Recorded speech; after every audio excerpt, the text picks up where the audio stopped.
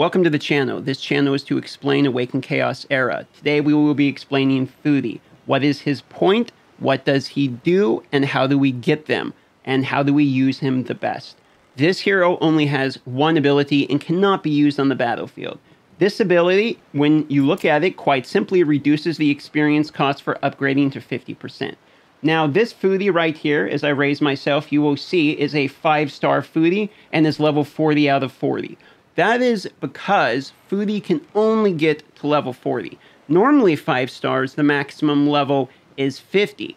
They do this to make it blindingly obvious that you stop leveling this hero at five stars. This is the best use of him. Now, why would we get him to five stars if we can't use him on the battlefield?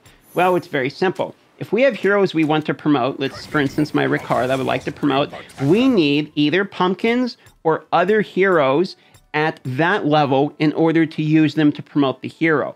Well, since Foody takes half of the experience, you can very quickly realize it is half as much to get Foody to five star. Now, does that mean that if we want a five star Foodie, when we promote them, he takes half as much to Promote? No, only to upgrade. You can see the experience here. He is now 40, and I can promote him. He doesn't take two people to promote. He still takes four. So the reduced experience is only to help your Foody level up to get to 40 so you can promote him to five stars. The reason they stop the level there is so you don't accidentally misread and promote a Foody to six stars because six star is the maximum level. So what you're supposed to do is take a five star that you do want, use your foodies like such, and then use it to promote a hero you would like to get to six star. That's the entire point of Foody. That's the only thing he does. He does save you tons and tons of experience. He saves you exactly half. Meaning, yes, you do need additional heroes to level him because I need four four star heroes in order to get Foody the five star, and it doesn't have the experience of the people that we're going to use to level Foody. However, it has the level of Foody himself.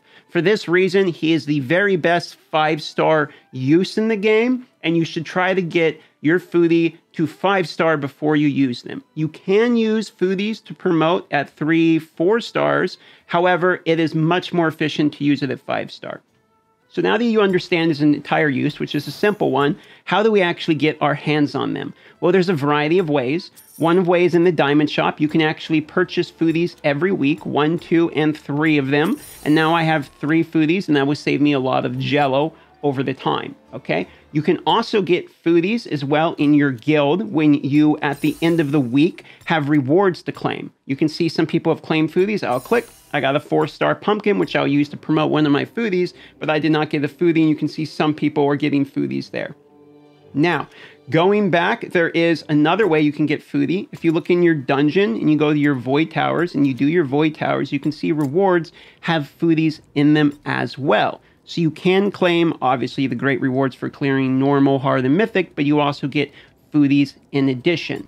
Okay, so there is a variety of ways. They're also commonly brought from events and for this reason, the best way to use it is to save your foodies and use them to promote heroes during the hero promotion event, and then do the type of events like the Arena of Glory, for instance, and try to get foodies or pumpkins that will show up here to either upgrade your foodies or to get the foodies themselves. This is typically the best way to get them. I've noticed in these type of events, you can stack them fairly quickly, and I do think it's worth the 80 diamonds to get the foodies if you're a small small payer or do the monthly cards, for instance. But I think it's probably better not to buy the foodies in that if you are free to play. It's probably best just to get them for free from things like the monthlies, for instance. That's going to wrap up the guide. Fairly simple. At this last bit here, I'm just going to do three summons while I explain that if you like the video or subscribe to my channel, it will help me out a lot help the videos be seen more, which makes me put more effort into them, etc., etc. So if you would like to do that, feel free to help me out in that manner. Thanks for watching and have a wonderful day.